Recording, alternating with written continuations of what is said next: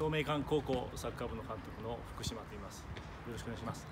えー今回は、えー高校3年生のために、えーこういう大会を開いていただき本当にありがとうございました、えーチーム関係者並びにあの保護者の皆さんを代表して、えーお礼を言いたいと思います。本当にありがとうございます。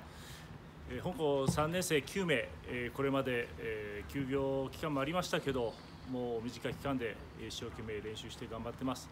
え今週末の13日になりますが、悔いの残らないように頑張ってくれると思いますので応援よろしくお願いします。どうも。